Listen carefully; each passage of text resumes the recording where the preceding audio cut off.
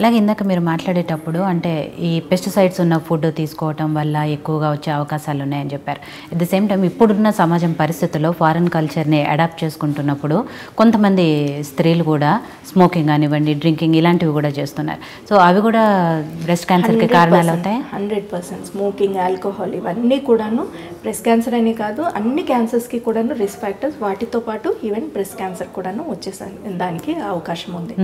So life styles changes అనేవి చాలా important westernise అయిపోతున్నాము. తర్వాత ఇంకొకటి ఆ, ఈ చాలామందికి ఒక అపోహ ఎట్లా ఉంటుంది అని అంటే ఎక్కడో చదివి ఉంటారు ఇంటర్నెట్లో సమ్ ఎగ్జాటిక్ వెజిటబుల్ పేరు తీసుకొని వస్తారు. ఇది తింటే కనుక క్యాన్సర్ అది ఏంటంటే ఒక ప్రకృతి ధర్మం అనేసి అంటారు.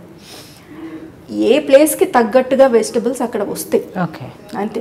అన్ అలాగనేసి పోయి ఎక్కడో సూపర్ మార్కెట్లో రెండు వందలు మూడు వందల రూపాయలు కేజీలు పెట్టి కొనుక్కొని అవి తినేసి నాకు క్యాన్సర్ రాదులే అనేసి మనము స్మోక్ చేసి డ్రింక్ చేస్తే కనుక మటుకు అది మనకి ఏ రకంగా కూడాను ప్రొటెక్షన్ ఇవ్వదు. ఓకే. సో మీ దగ్గరలో ఉన్న ప్లేస్లో మీకు ఏవి పండుతున్నాయో ఈ కాలానికి తగ్గట్టు మామిడి పండు కాలంలో మామిడి పండు తినండి. కస్టర్డ్ యాపిల్ ఉన్న టైంలో కస్టర్డ్ యాపిల్ తినండి.